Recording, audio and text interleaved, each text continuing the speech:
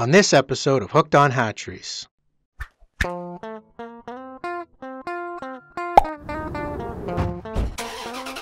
We head north to visit volunteers from the Haliburton Highlands Outdoor Association and collect lake trout eggs to raise in their hatchery.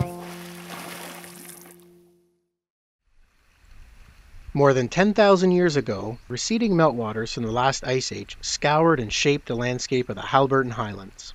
Stranded in a few of the highland lakes was a unique lake trout strain that evolved with special characteristics. The Haliburton Gold lake trout are genetically distinct from all other lake trout stocks in Ontario.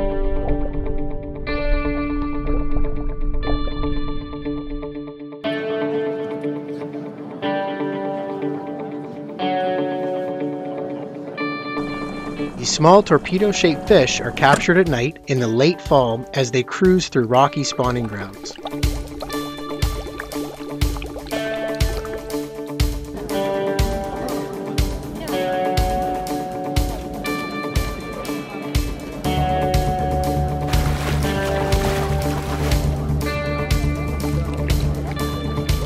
The Haliburton lake trout is a glacial relic, one of the oldest and purest strains of lake trout in the world.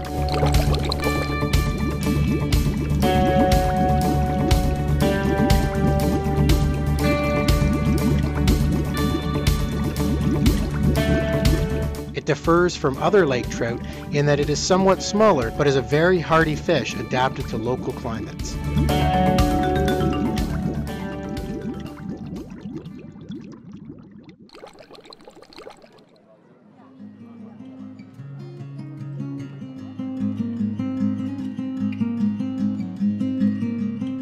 Ripe female lake trout are brought up to the sampling station one at a time, and eggs are gently removed.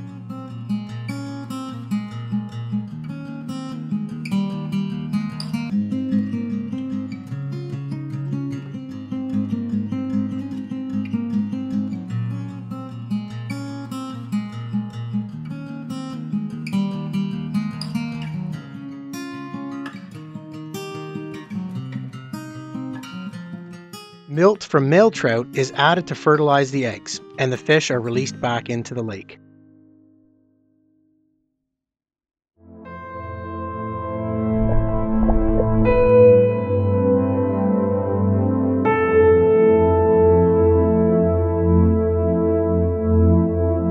When added to water, the eggs harden, sealing them off to all but oxygen transfer.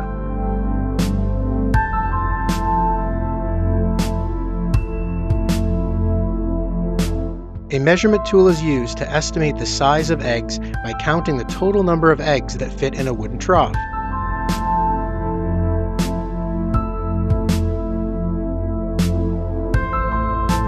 By referencing the chart, we can then determine the number of eggs that will fill a volume of 1 liter.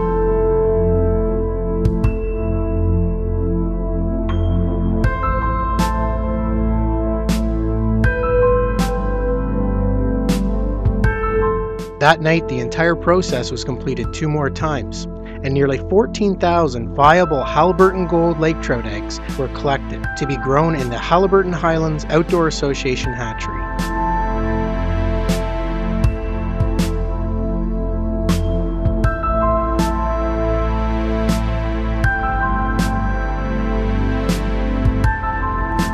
Hatchery volunteers are helping to conserve this local genetic strain by growing these fish for up to a year and a half to then be released back into local lakes. The Community Hatchery Program is a partnership between the Ministry of Natural Resources and Forestry and the Ontario Federation of Anglers and Hunters. For more information, visit our webpage at www.communityhatcheries.com.